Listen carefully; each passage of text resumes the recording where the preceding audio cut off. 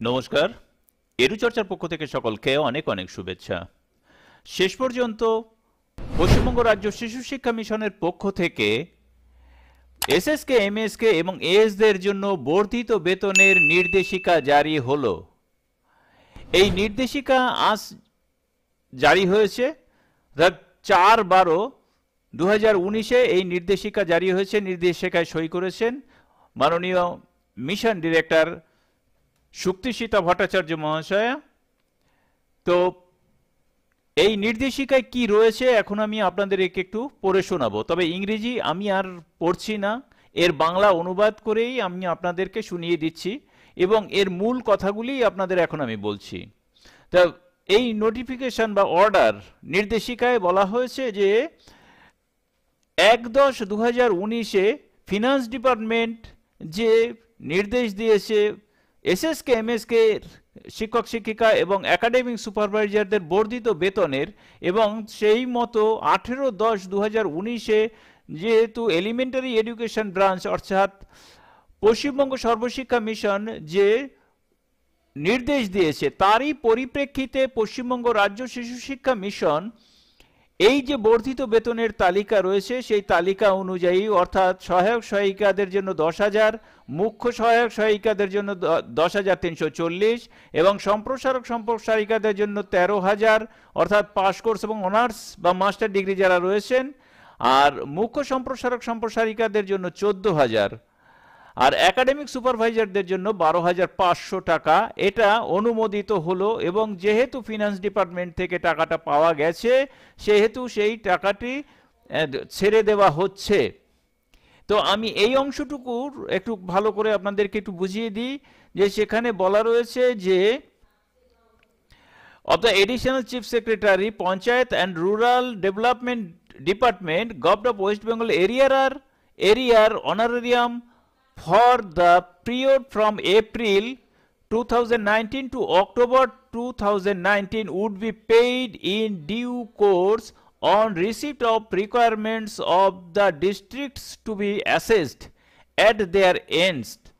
With due and strict adherence to the amounts already paid to those employees who were existed at that time বর্তমান সময়ে যে সমস্ত employee S S SS কেতে কর্মরত, অর্থাৎ সহায়ক সহায়িকা সম্প্রসারিকা এবং একাডেমিক সুপারভাইজার গণের, যে টাকাটি তারা পেয়েছেন এখন পর্যন্ত এবং সেগুলো বাদ দিয়ে এপ্রিল থেকে অক্টোবর পর্যন্ত যে হিসেব হবে, সেই হিসেব জেলা কর্তৃক নির্ধারিত হওয়ার পর তারা যে ডিমান্ড করবে, সেটি কিন্তু পাঠিয়ে দেওয়া হবে যথা সময়ে এইবার এই যথা সময় বলতে কোন সময় সেটি কিন্তু এখনও উল্লেখ নেই, তবে ডিসেম্বর মাসেই যদি জেলা কাজ করতে পারে, তাহলে অবশ্যই ডিসেম্বর মাসেই পাঠিয়ে দেওয়া হবে।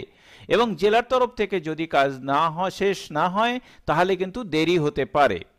এর পরে প্রায় বলা রয়েছে যে, honorarium for the month of November to is being released from the end of the mission on the basis of the existing number of the said categories of employees already available in the requirement of the district. অর্থাৎ November মাসের যে টাকা, অর্থাৎ ভাতা, সেটি কিন্তু district থেকে যা চাওয়া হয়েছে, সেটি পাঠানো হচ্ছে। এইবার এখানে একটি প্রশ্ন কিন্তু উঠে, উঠতে পারে। সে প্রশ্নটি হচ্ছে এই যে জেলা থেকে রাজ্যে যে স্টল পাঠানো হয়েছে, সেটি কি পুরনো হারে পাঠানো হয়েছে?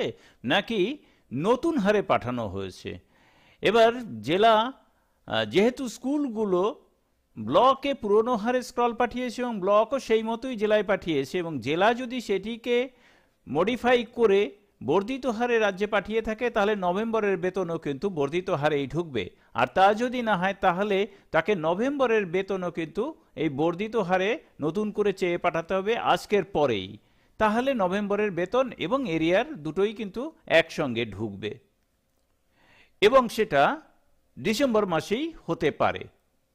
Henceforth and until further order monthly requirement of the districts should be sent to the mission as per enhanced rate of honorarium তা সেক্ষেত্রে বলা হচ্ছে যে এই পর্যন্ত এবং নতুন কোনো নির্দেশ না আসা পর্যন্ত যে মাসিক যে ভাতা চাওয়া হয়, সেটি কিন্তু বর্ধিত হারেই চাইতে হবে। অর্থাৎ ডিসেম্বরে স্ক্রল যদি জমা না পড়ে থাকে, অর্থাৎ এখনও জমা পড়েনি, আশা করি ছয় থেকে আট তারিখের মধ্যে জমা পড়বে এবং সেই মতো ডিস্ট্রিক্ট থেকে কিন্তু চাওয়া হবে বর্ধিত বেতনের যে স্ক্রল সেটি।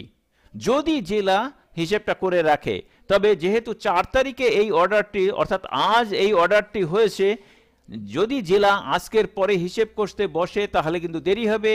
আর অর্ডার আসার অপেক্ষা না করে জেলা যদি হিসেবটি রেডি করে রাখে এবং তাহলে কিন্তু ডিসেম্বরের মধ্যে খুব দ্রুত বর্ধিত বেতন এবং আগামী মাসের যে মাসিক বর্ধিত বেতন, সেটা কিন্তু ঢুকতে থাকবে নিয়মিত। আর ডিসেম্বরের স্ক্রল কিন্তু অবশ্যই বর্ধিত বেতন হারেই যাবে, পুরনো হারে নয়।